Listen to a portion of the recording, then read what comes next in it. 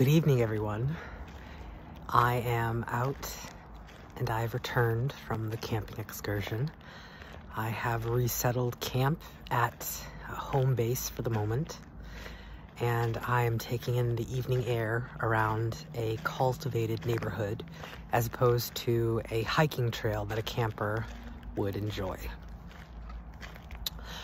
I heard something as I took a right out of my starting point. It sounded like some sort of um, mammal vocal cord.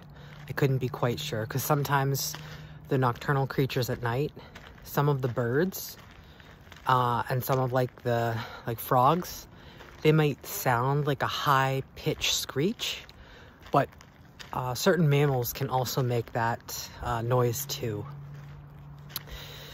But it's really true if you are out in nature and there is some sort of living creature near you, try to stay calm because it can feel you. It can feel if you're afraid or nervous or angry and it will it will also respond uh, in like manner.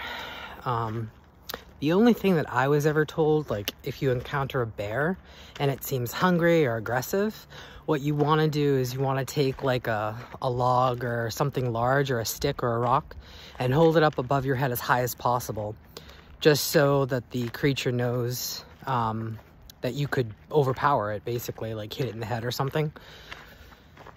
Um other than that um I've never really had any bad experiences with nocturnal animals.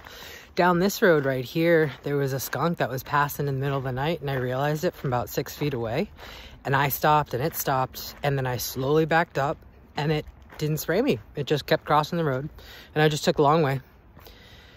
And that was really nice that the skunk saw that I wasn't going to hurt it or anything. That's the only reason a skunk would spray you. If a nocturnal animal thought that you were going to hurt it, it would try to hurt you. But if you show that you wouldn't, it wouldn't, it does bother you. They know.